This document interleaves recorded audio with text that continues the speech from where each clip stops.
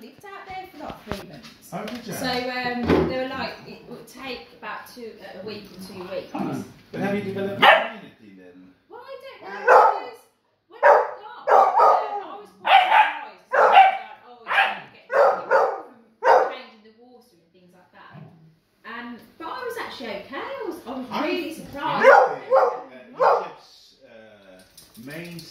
supply, I think, is clean most parts of Norway? Ah! Because they're quite contemporary there.